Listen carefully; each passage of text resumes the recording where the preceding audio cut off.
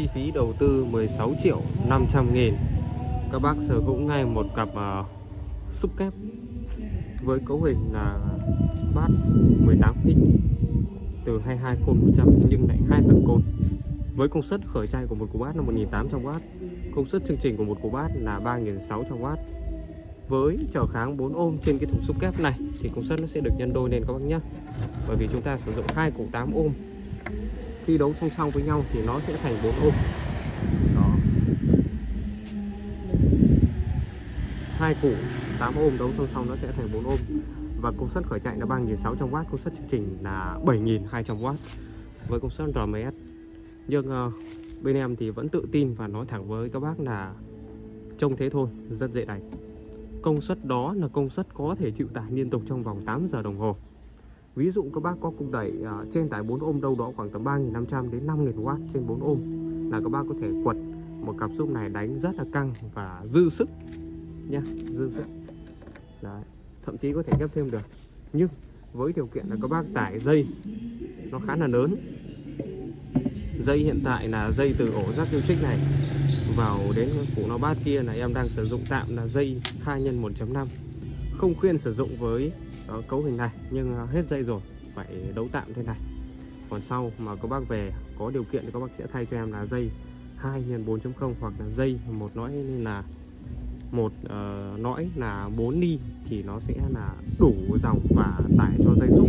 Ở ngoài ổ rắc vết công từ cục đẩy ra đến loa cũng phải nhà 4 ni thì mới đủ công suất để à, chơi căng với tất cả các loại xúc các bác đang dùng.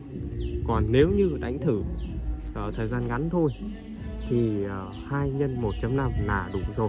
Còn là 2 nhân 2.5 thì tuyệt vời. Còn nếu các bác mà có điều kiện thì các bác hãy mua những cái dây loa chất lượng cao phù hợp với cái loa xúc này nhé. À, dây loa là dây nõi to vào.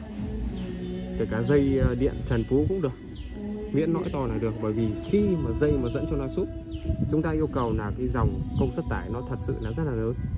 Nên đừng có quan trọng là dây uh, trần phú là không phải là quy chuẩn thật ra đấu vào và đo lên thì uh, có giờ mới biết được là dây này với dây kia. Em có đầy đủ thiết bị đo và em cũng đã đo và cũng có so sánh vài clip để cho các bác xem rồi. Dây loa chuyên dụng và dây điện công nghiệp. Uh, chất âm nó không thay đổi. Khi uh, dẫn cho loa full loa xúc với khoảng cách vừa khoảng ngắn tầm 30 mét đổ về thì không không thấy vấn đề đâu. Đó.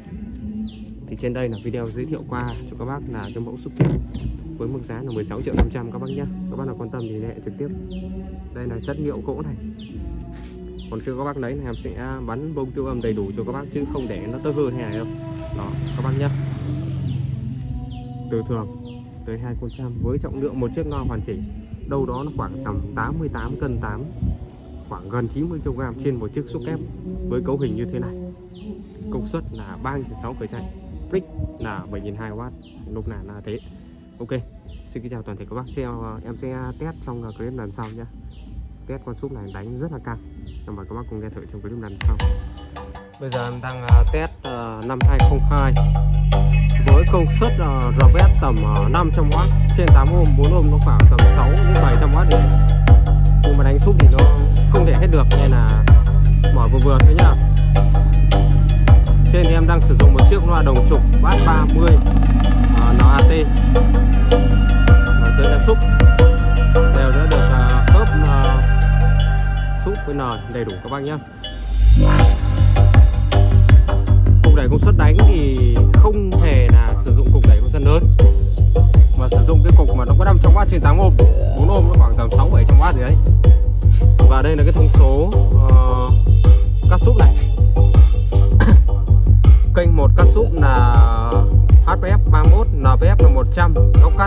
24 và tất cả các cần đây là đều bypass hết không chỉnh.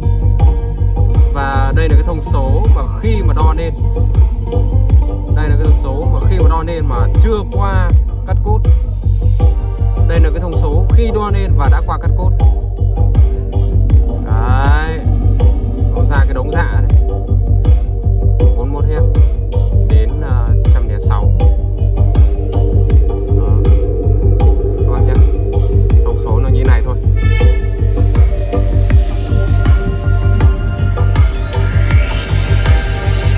tí nữa anh làm gì cũng bị tai vào ấy. To ho gì mở như dí cái bị tai vào. Xúc thép 50 mươi. Hai con trăm. Đua vài con, hai tầng con.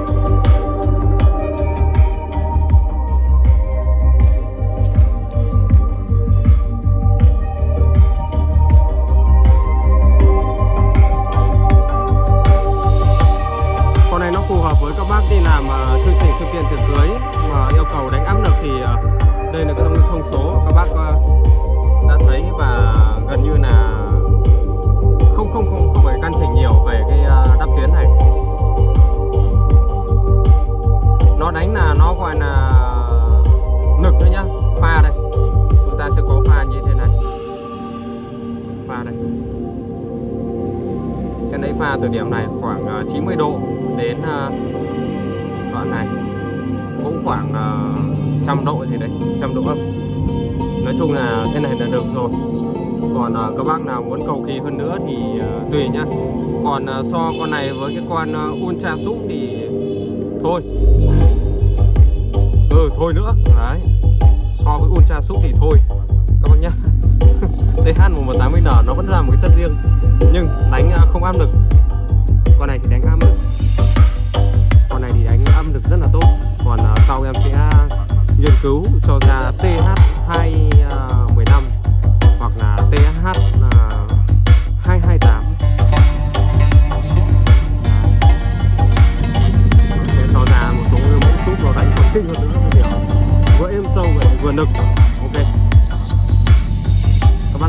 đến uh, con uh, Ultra Long Phất này thì liên hệ trực tiếp với em nhé.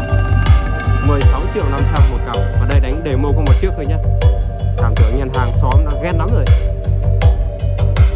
Cũng đẩy có 500W thôi không đánh căng được. Nhưng mà uh, như thế này là đủ nghe rồi. Và quay gần nó vẫn bị vỡ tiếng bình thường.